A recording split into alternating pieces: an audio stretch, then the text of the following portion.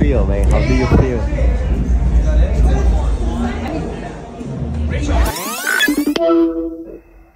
Christian, what's up? What's up? What's up? You're all equipped. You looks like you're ready to shoot.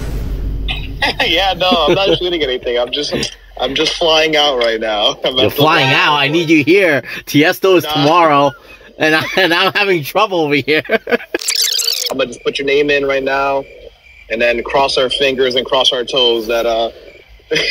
Even the toes. can get it. Even the toes. yeah, even the toes. All right, I appreciate you, brother. No problem. Yo, man. see you back in New York Yeah, see you very soon. Take care. later.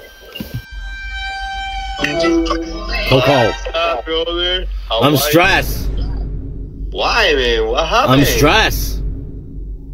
Why? Why? Tomorrow night. so stressed? Tiesto is Uh, gonna be there on the only night that he's gonna be last last time in New York. I need to. We need to figure out how to how to get to meet him. You know, I've been stressing out all week long. We need to see Tiesto. We need to meet him. Bro, listen, listen, listen. I have an idea. With this, we are gonna meet him, and no matter what, we have to meet him. Okay? Thank you, brother. I appreciate you, man. Trust I'll see you soon.